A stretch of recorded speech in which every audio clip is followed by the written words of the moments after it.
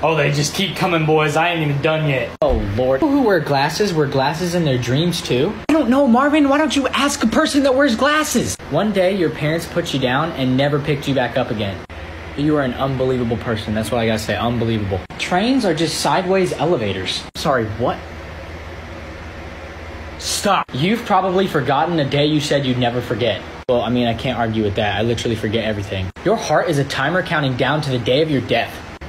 Again, who are you? We are currently time traveling to the future. Stop, stop, stop. No. You can't touch any reflection that isn't your own. Thank you, Captain Obvious. Your nails are a window to the flesh in your finger.